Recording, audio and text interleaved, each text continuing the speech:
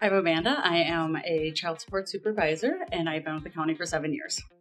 The work culture is why I've been here for seven years. It, the value and missions of this building is really what I stand for, and it's an employer that I want to work for. Um, I'm lucky enough to be on two different type of teams: the leadership team here at Health and Human Service, and then the other team I work with is the child support.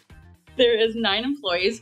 We have over 111 years of experience between the nine employees. My employees range from 35 years to new, under a year. Being an eligibility worker, I worked in economic assistance programs where people could apply for SNAP cash housing, be able a resource for people calling and asking questions about the program to determine eligibility. And then the child support piece now is the new department and just helping parents get that financial stability they need. Growing up, I wanted to be a teacher and then decided that wasn't what I wanted to do. so I kind of just started working in life and then realizing what I wanted.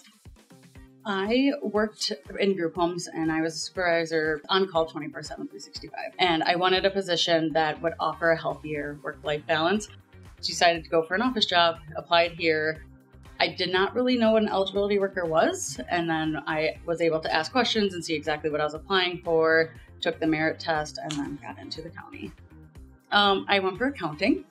I, yeah, I teacher to accounting, pretty impressive. I went as a working adult. I went to night school. I went um, St. Mary's University offered adult classes after work, so I worked and then went to school. Halfway through, I was like, accounting isn't really what I want either, and then I went to um, human services.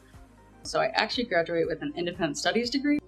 There are so many different departments, and the connections that you work with every day and the people you meet, what you get hired for might not be what your passion is. You might learn, like, I actually have a passion in this after seeing what someone else does, and just being able to then apply for that department if it's open. Kind of having the foot in the door really is a great thing. Uh, just enjoy the county. And like the river, the bluffs, hiking, walking, big water person, so any water sports, fishing, the river is magnificent, and then everything around here.